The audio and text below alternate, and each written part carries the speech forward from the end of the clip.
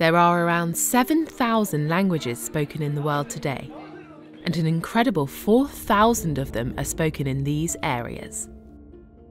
This is a different map. These are the world's most biodiverse regions, areas teeming with life. Nearly half of the world's plant species are found here and nowhere else. See how the two maps overlap? Unfortunately, both the people who speak these languages and the nature in these hotspots are under threat from deforestation, pollution, and climate change. Wildlife populations are declining at an astonishing rate, plunging by almost 70% in the last 50 years. The future for minority languages also looks dire. It's predicted that between 50 and 90% of the world's languages will disappear by the end of this century, most of them spoken by indigenous communities. And with each lost language, we lose a wealth of knowledge about the natural world. How is the destruction of natural resources and the death of languages intertwined? And could saving one help save the other?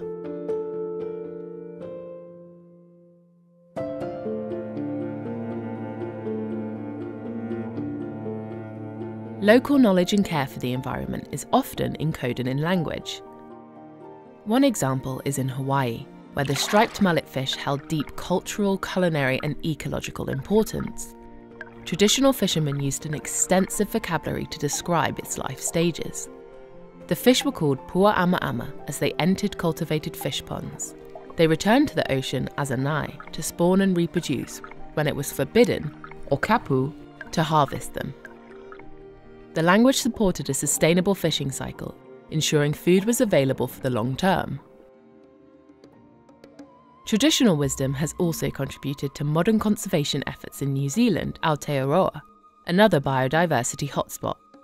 Ancestral Maori sayings describe the importance of leaving certain shoots on the harakeke plant, known as the flax in English. This ensures that there's enough nectar for the birds who pollinate the plants, enabling a healthy crop.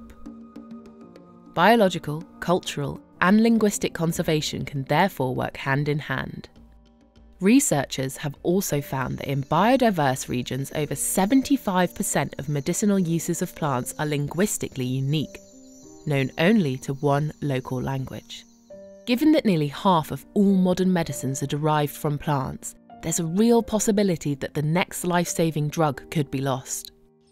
The revival of languages not only preserves information, it can also galvanise local conservation efforts. Hawaii has been deemed the extinction capital of the world, holding the record for the most extinct birds on the planet. It's also home to a severely endangered language, Hawaiian. By the 1980s, there were only a few dozen speakers left, and it was predicted that the language would be effectively dead by the year 2000. Now, perhaps, there is reason for hope. Efforts to revive the language mean that the number of Hawaiian speakers on the islands is slowly growing. The renaissance of both the language and the culture has encouraged people to look into the ecological practices of their ancestors, providing motivation for conservation projects across the island chain.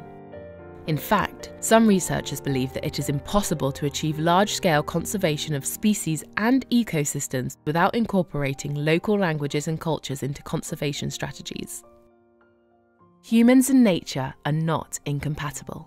Keeping people connected with their landscapes, speaking indigenous languages, and practicing traditional, sustainable ways of living can benefit all forms of life.